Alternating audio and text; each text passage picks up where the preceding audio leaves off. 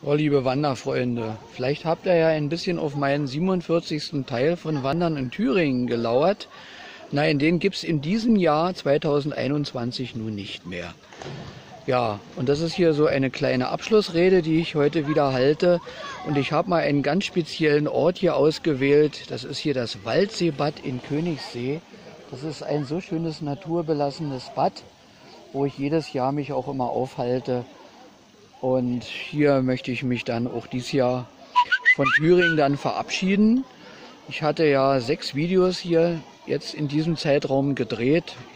Von das Video von der Werra-Quelle, von dem Forellenhof Katzhütte, Schortemühle bei Ilmenau und die schöne Wanderung von Frauenwald zur Hungerquelle und von Goldistal nach Masserberg und dann last but not least gestern die Wandertour von Bad Blankenburg über den Katzenstein hoch zum Hainberg.